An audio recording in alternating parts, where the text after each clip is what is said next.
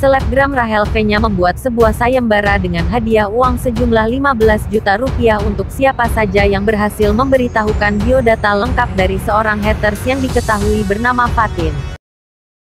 Oke, sebelum kita lanjut, subscribe sekarang, like, comment, dan share. Selamat menonton! Hal itu berawal dari Instagram Stories, Rahel V-nya yang memperlihatkan adanya seorang haters yang mengucapkan kata-kata yang tidak pantas. Seperti apa Instagram Stories yang dibuat mantan istri Okin ini?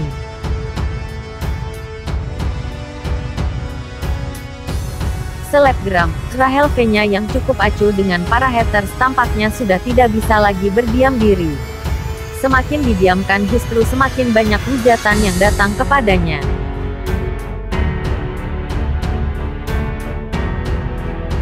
Melalui Instagram Stories, Rahel V-nya memperlihatkan sebuah DM Instagram dari seorang haters. Terlihat haters menggunakan kata-kata yang tidak pantas ditunjukkan kepada siapa pun.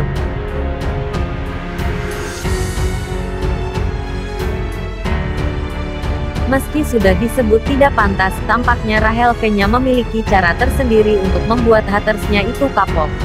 Bukan hanya alamat yang dicari oleh ibu dua anak ini. Tetapi, Rahel V-nya mempersiapkan uang 15 juta untuk orang-orang yang bisa memberikannya biodata lengkap dari sang haters mulai dari alamat hingga hobi. Bayar orang lacak IP address. Mager Ahok masih pakai akun asli. Tinggal bikin sayembara. Yok yang kenal Fatin. Kalau tahu biodata lengkap, nama alamat dan lain-lain aku kasih 15 juta buat GoFood sekampung yang paling lengkap. Yang menang ampe hobi sifatin juga boleh. Email ke rachelfanyas3 gmail.com, tulis Rahel V-nya. Atas Instagram storiesnya itu sang haters yang diketahui bernama Fatin pun menjadi trending topik di Twitter. Para pengguna Twitter pun berharap bisa mengenal haters itu sehingga mendapatkan uang 15 juta rupiah. Ya makanya ketikan dijaga atuh, dikira gak bakal dinotis kali ya. Kita gak salah aja bakal susah lawan yang berduit, apalagi kita yang salah.